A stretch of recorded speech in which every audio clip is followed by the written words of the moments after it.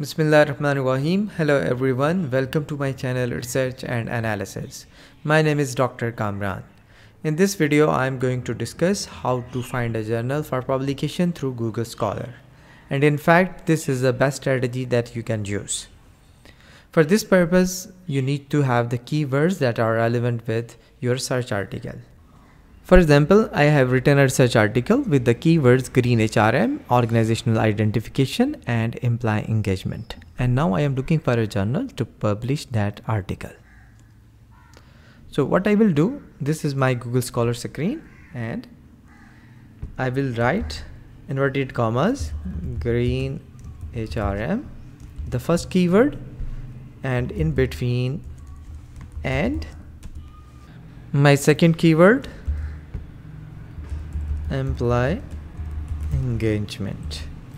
If I want to consider my third keyword as well I will put my third keyword and then search. See Google Scholar has provided me the list of the articles that are published with these keywords.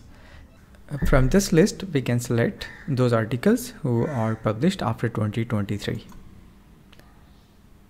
see we get 353 results. If you are unable to get uh, enough numbers then you can extend your time period. Like we can select those articles who are published after 2020 well since we have enough data for example the first journal we have sustainability who have published an article on green citizenship behavior organizational identification which is somehow the same area as we are working now. In the same way another article uh, here you can see the name is Journal of Economic but we can't see the full name. In order to see the full name we can go to cite and from here we can have the complete reference. We can see the journal name is Journal of Economic and Administrative Sciences.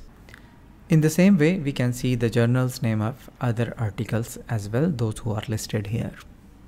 But here I want to clarify this is not that simple to select a journal because we can't select any journal blindly those who are listed here.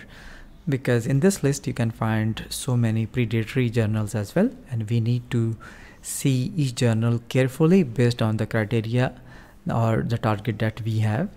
For example if our university requirement is to publish only in those journals those who are scopus indexed then you need to make sure whether the specific journal is Scopus indexed or in not. In the same way, if your requirement is uh, any other criteria that it should be Q1, Q2 in terms of impact factors, or you also need to see the restricted databases if there is any specific databases which is restricted by your institute you should also consider those databases not to select those journals those who are listed in those databases. Along with that you need also need to focus on the processing time of that journal and as well as apc of that journal but I always recommend to publish in those journals who do not have any APC. I hope these tips help you to select a journal from Google Scholar. Thanks for watching.